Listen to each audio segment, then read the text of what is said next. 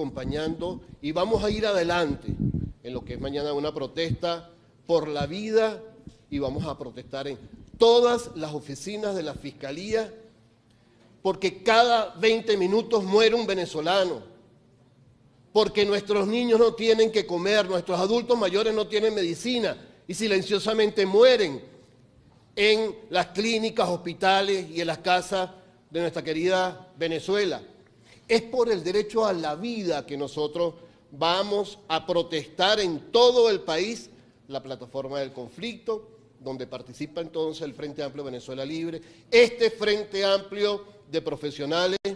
y nosotros no vamos a cesar nuestras actuaciones para esclarecer el asesinato de Fernando Albán.